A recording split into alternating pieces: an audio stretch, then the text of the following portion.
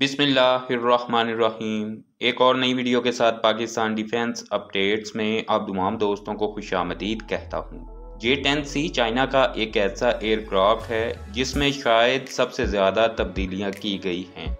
ये एयरक्राफ्ट शुरू से लेकर अब तक न सिर्फ़ अपनी शक्ल शुबाहत में बहुत सी तब्दीलियाँ लेकर आया है, बल्कि इसके साथ साथ सलाहियतों और टेक्निकल स्पेसिफिकेशंस में भी बहुत सी अपग्रेडेशंस हुई हैं। यही वजह है कि इस एयरक्राफ्ट के एक से ज़्यादा वेरिएंट इस वक्त मौजूद हैं। और यही एयरक्राफ्ट चाइना का मुकामी तौर पर बनाया गया सबसे पावरफुल एयरक्राफ्ट माना जा रहा है।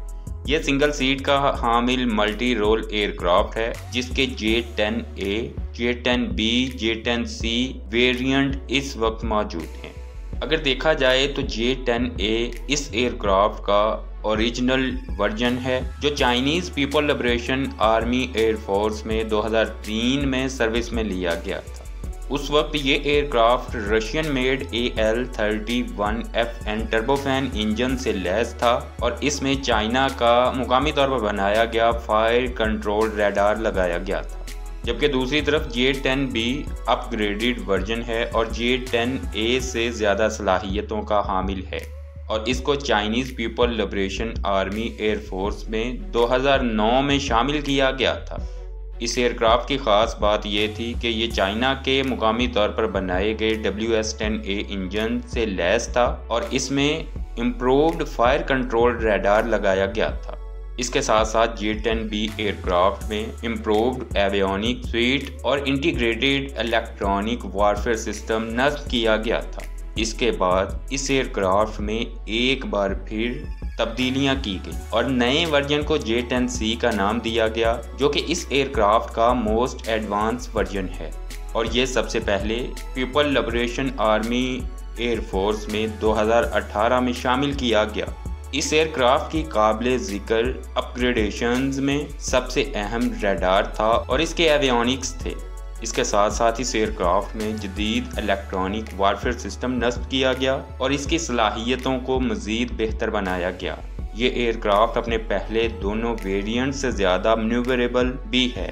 इस एयरक्राफ्ट की सबसे बड़ी खूबी ये है कि इसमें चाइना में मुकामी तौर पर बनाए गए active electronically scan array radar को लगाया गया। इस एयरक्राफ्ट की कॉकपिट लेआउट को भी बेहतर किया गया और एडिशनल सलाहियतें भी इसमें शामिल की गई, जिनमें improved infrared search and track system था और इसके साथ साथ नए जदीद इलेक्ट्रॉनिक वारफेयर सिस्टम भी इस एयरक्राफ्ट में लगाए गए।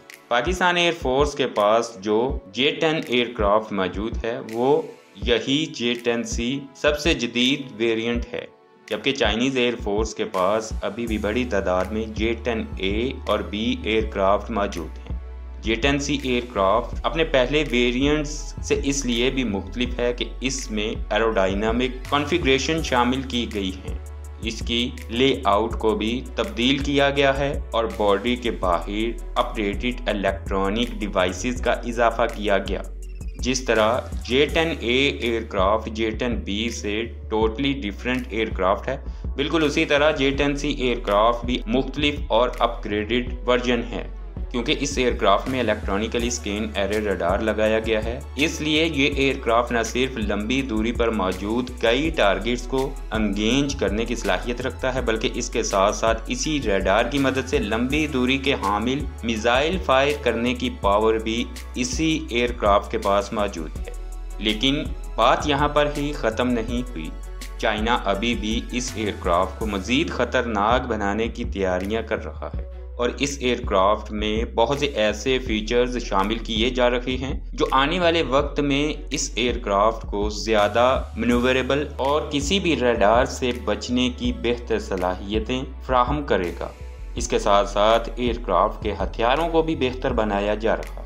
जे टेन सी एयरक्राफ्ट किस तरह के हथियार कैरी करने और फायर करने की सलाहियत रखता है, इस पर एक अलहदा तफसीली वीडियो भी आपको जल्द ही मिल जाएगी। आज की अपडेट में इतना ही। मज़ीद अपडेट्स के लिए चैनल को सब्सक्राइब कीजिए, अपना ख्याल रखिए। अल्लाह हाफिज़।